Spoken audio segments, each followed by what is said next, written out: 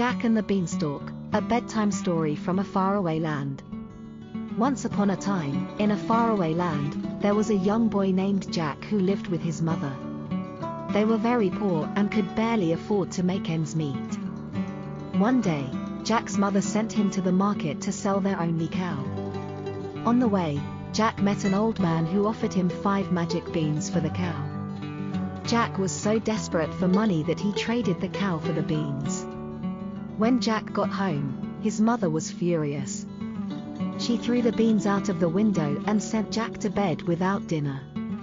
The next morning, Jack awoke to find a giant beanstalk had grown outside his house. He climbed the beanstalk and found himself in a magical land populated by giants.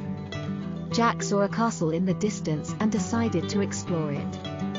Jack entered the castle and met the giant who lived there.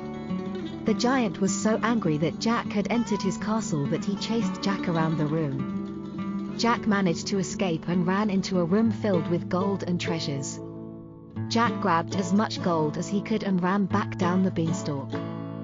When he arrived home, Jack and his mother were able to live comfortably for the rest of their lives. Jack and the Beanstalk is a classic fairy tale that has been told for generations. It is a story of courage, resourcefulness, and luck that is still enjoyed by children today.